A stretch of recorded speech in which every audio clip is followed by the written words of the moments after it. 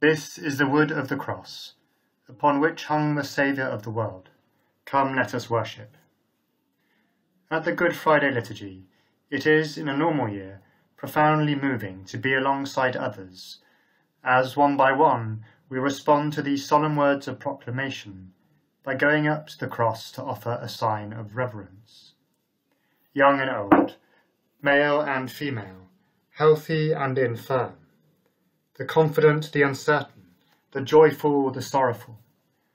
All bless the cross with a kiss, a gentle touch, a reverent bow, a moment of encounter upon bended knee.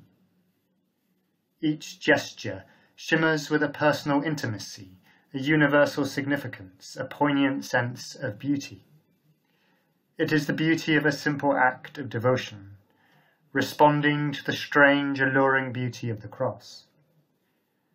When this takes place during the service at All Saints, deep calls out to deep, as beauty takes wing and reverberates amid the neo-Gothic splendour, the high columns, the stained glass windows, the sandstone walls, saturated by prayer and sea air, while the choir expand space and souls with song. All these lines of perspective, harmony and reverence converge on the crucifix at the centre of the reredos, the lodestar of the church's fabric and purpose, as it is lit up by the afternoon sun. But how can we say the cross is beautiful? The ubiquity of crosses and crucifixes can dull us to its dissonant horror. How can this image of suffering, torture, and abandonment evoke from us a response of wonder and adoration that are the hallmarks of an encounter with what is beautiful. Indeed, if upon the cross and in the broken body of Jesus we encounter the truth about God's salvation of the world, then the cross seems to question the very notion of beauty itself.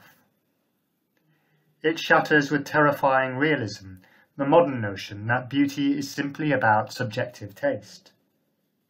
It also seems to clash with the ancient understanding of beauty as an encounter with the real that gives delight through the perception of a thing's outward sense of proportion, form and radiance. Rather, in Christ crucified, the words of the prophet Isaiah ring out with haunting power. He had no beauty, no majesty to draw our eyes no grace to make us delight in him. His form disfigured, lost all the likeness of a man. His beauty changed beyond human semblance. But what of the fact that beauty lies at the heart of the Christian conviction about the goodness and truth of God and God's creation? The Psalms declare the beauty of holiness and the glory of creation. The startling array of living things the oceans and mountains, the stars and the sky, the sun and moon, all shimmer with a distinctive and mysterious beauty, one that sings out the beauty of God. And what of the beauty of human art and music, of story and craft, the face of one whom we love, an act of kindness, a word of truth? Are all these cast aside by the cross? No. Instead, what is shown on the cross takes us deeper into that ancient notion of beauty as the appearance of what something truly is. A telling out of each being's innermost depth, in which shines the radiant mystery of being itself as God's beautiful gift. For on the cross, in the fullness of Jesus' humanity and in the gift of himself, are manifested the reality of God's life in a world scarred by violence and suffering. The cross declares the beauty of divine love made flesh within a world that has lost touch with its own heart of beauty and often prefer, prefers cruelty. This terrible manifestation of divine beauty of God crucified, brings judgment to all shallow notions of beauty. Upon the cross, God's love exposes the patterns of self destruction that have become enmeshed within our societies and hearts. Yet judgment is not the last word. For on the cross, the very truth of beauty itself is revealed. The face of beauty is presented to us in God's act of self giving devotion towards us, made bare in Christ.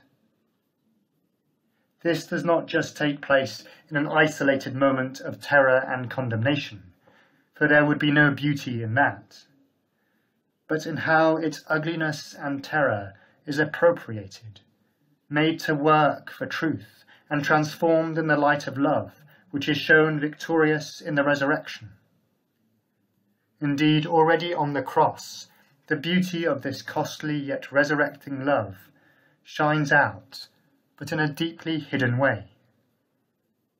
The beauty of the cross is that it tells of a loving God whose creative power is no stranger to our deepest pains and anguish, but present in the very midst of them to heal them.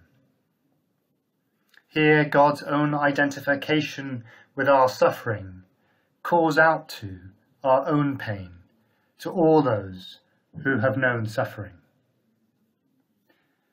But it is not just the suffering and violence of the cross that it is crucial to revealing the hidden beauty of God. This would be the mistake of all those theologies that glorify in the brutality of the cross as a sign of placating God's wrath. Rather, the true beauty of God's love is expressed in the hidden work of Jesus' heart amid suffering as he weaves together the love of God and the wounded fabric of humanity. Nothing expresses the beauty of God, of who God is, more than this. From within the hard hearted reality of a human nature that rejects true beauty, Jesus shines the beauty of love, which works delicately yet decisively to bind all wounds and give us new hearts of flesh, transforming, transforming each person's most personal struggles into a work of beauty that manifests who we are in God. Out of the depths of the heart of God, which are deeper than any darkness, the light of this hidden work of beauty suffuses and softens the cross just as it hides in our hearts, softening them and opening them for love.